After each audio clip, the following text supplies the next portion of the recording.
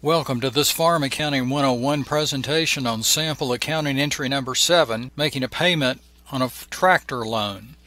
I'm Robert Page, Regional Extension Agent and member of the Farm and Agribusiness Management Team with the Alabama Cooperative Extension System at Auburn University. As we have said in earlier presentations, the Farm Accounting 101 series is intended to help Alabama producers to improve their farm financial literacy. Farmers, like any other small business, have the same basic financial transactions every year. So we study typical checks and deposits. We also learn the accounting principles behind these checks and deposits. Earlier in this series, in sample accounting entry number 3, the farmer purchased a used tractor with cash down, an older tractor trade in, and financed the balance due with a finance contract. Today we enter a payment on that finance contract. In this sample entry, the farmer writes a check for $1,743.75 to their ag lender for the loan on their New Holland T4.75 tractor purchased in sample accounting entry number 3. The $1,743.75 payment consists of $168.42 in interest and $1,575.33 in principal due on the loan.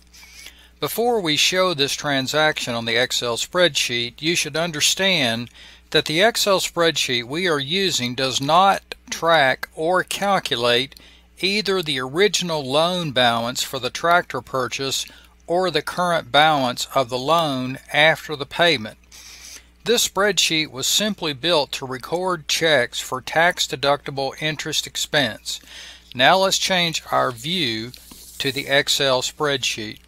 Here we are in June 10th, 2019, recording check number 2148 to Ag Lender for the New Holland T4.75 loan payment of $1,700.43 and 75 cents. Now, how do we allocate the rest of this check to either an expense column? And the answer is we only can allocate for tax purposes the interest paid on this interest loan payment, and that's $168.40 42 cents, excuse me, in column P. The balance of the payment goes on our cash balance column in column AB. Thus, is the entry in balance? Yes, it is. So when we take a look at our profit and loss summary on sheet 3, there is the $168.42 interest payment uh, portion, which is tax deductible. The balance of the loan payment is included in the $8,147.18 uh, you know cash usage. So now let's move to our accounting entry back to the PowerPoint presentation. If you've not used this spreadsheet before, it is available for producers to download. To find the spreadsheet, visit the ACES website at www.aces.edu and select the topic tab entitled Farming and then Farm Management to find the article entitled Using an Excel Spreadsheet for Farm Financial Records. There is a link to this spreadsheet embedded in the article. Now, let's look at the accounting entry. And in this particular case, the accounting entry for this credit card purchase is a compound entry. In line 1, we have loan payable to the ag lender for the New Holland T4.75 tractor, and a loan payable is a long-term liability, reflecting a three-year loan. The principal payment of $1,775.33 decreased the loan outstanding balance with the debit entry as shown in line 1.